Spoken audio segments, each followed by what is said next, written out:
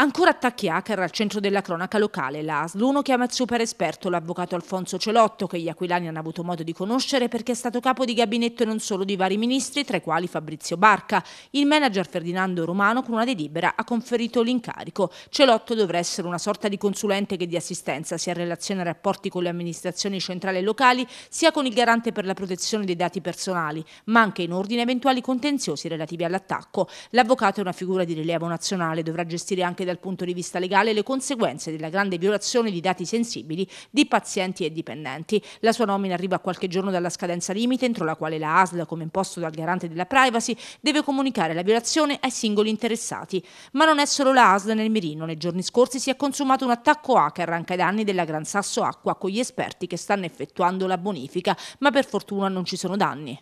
Per noi non c'è stato nessun furto di, di dati. Il, I nostri informatici si sono accorti alle 7 di mattina praticamente che nel corso della notte c'è stato questo eh, ingresso diciamo, furtivo da parte di questi hacker e la fortuna mh, ha voluto che ovviamente i terminali non fossero ancora aperti.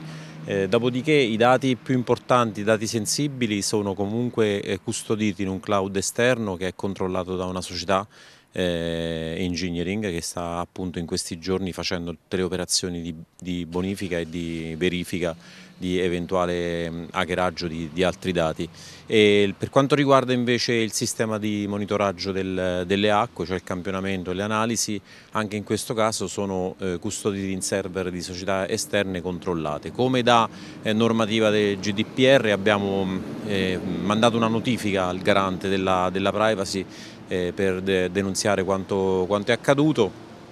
Credo che nella giornata di giovedì riusciremo ad essere già operativi e a pieno regime.